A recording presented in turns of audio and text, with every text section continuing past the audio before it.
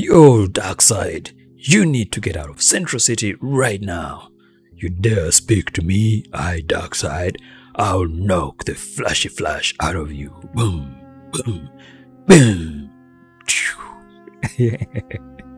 Welcome back, friends. This is Solomon Jagwe back with another quick insight. So those characters we've just seen set off as toys, you know, collectibles that I bought, purchased from Walmart. You can find them on uh, Amazon or even uh, Target, I believe.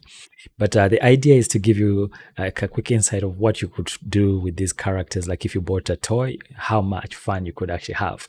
So I really wanted to just create like a fun clip based on these characters, and I used a 3D Presso, which is an online know, cloud-based uh, scanning prog- program, or it, what you, you, can use it to create 3D models out of just footage. So what you see there is Darkseid, 360 degree, and then Flash, 360 degree of me. I use my iPhone, my Samsung to record that footage over 360 degree. And I'll also share the link of that little platform that I'm using. And uh, it's really fun and I'm highly recommend it. Uh, it's amazing what you can do with AI nowadays, but the fact that you can actually take 360 degree video and produce a character that has like textures and then I'm able to rig it using Accurig from Reallusion. So I hope that gives you some quick insight and inspiration. Do something fun. Thank you for joining me again. Please don't forget to subscribe and hit that notification bell. Much love and dare to dream big as always. Stay safe. Bye for now.